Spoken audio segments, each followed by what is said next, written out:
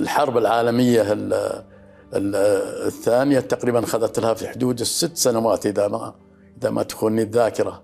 ولكن في تقريبا في أواخرها آه، في لما خلصت الحرب طبعا أنت عارف أمريكا تدخلت في الحرب وصارت ذا وانقلوا شاحنات للحلفاء.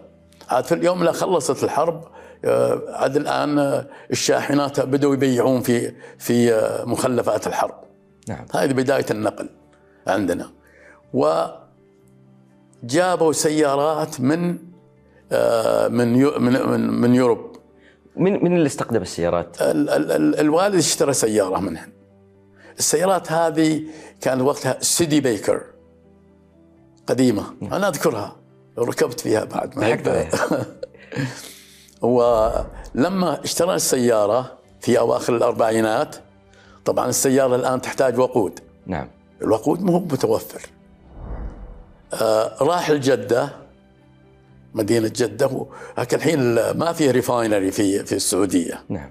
كان يؤتى بال بال بالوقود من خارج refined وذا من خارج المملكة. نعم. والمهم اشترى أربعة براميل آه وقود.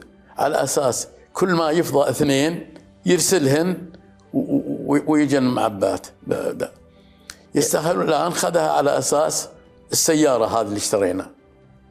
طبعا الأرطاوية ما فيها مكان الوقود والناس يمرون معها كلها ممر. نعم. الناس يجون من الكويت يروحون للرياض يمرون من عند الأرطاوية. دروا من عند الوالد وقود.